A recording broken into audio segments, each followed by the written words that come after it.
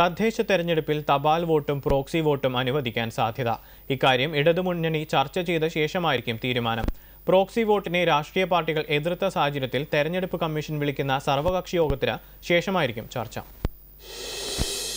Covid രോഗികൾക്കും നിരീക്ഷണത്തിലുള്ളവർക്കോ തപാൽ വോട്ടും പ്രോക്സി വോട്ടും ഏർപ്പെടുത്തേണ്ടി വരുമെന്നാണ് സർക്കാരിന്റെ വിലയിരുത്തൽ. വോട്ടെടുപ്പിന് തലേ ദിവസം രോഗം വരുന്നവർക്ക് തപാൽ വോട്ട് പ്രായോഗികമല്ല. അതിനാലാണ് രണ്ടു തരത്തിലുള്ള വോട്ടും അംഗീകരിക്കാൻ ആലോചിക്കുന്നത്. വോട്ടെടുപ്പിൽ നേരിട്ട് പങ്കെടുക്കാൻ കഴിയാത്തവർക്ക് ഏതു വേണമെങ്കിലും തിരഞ്ഞെടുക്കാൻ സൗകര്യം നൽകുന്ന രീതിയിൽ നിയമത്തിന്റെ വ്യവസ്ഥ ചെയ്യാനാണ് വകുപ്പിന്റെ ആലോചന. എന്നാൽ പ്രോക്സി വോട്ടിനെതിരെ രാഷ്ട്രീയ പാർട്ടികൾ രംഗത്ത് വന്ന സാഹചര്യത്തിൽ ഇടതുമുന്നണി വിശദമായി ചർച്ച ചെയ്യും. പ്രോക്സി വോട്ടിനെ സി പി എമ്മും പൂർണമായും പിന്തുണയ്ക്കുന്നില്ല. ഒരു വോട്ട് പോലും നിർണായകമാകുന്ന തദ്ദേശ തെരഞ്ഞെടുപ്പിൽ പ്രോക്സി വോട്ട് വലിയ തർക്കങ്ങൾക്കിടയാക്കുമെന്ന ആശങ്കയുമുണ്ട്.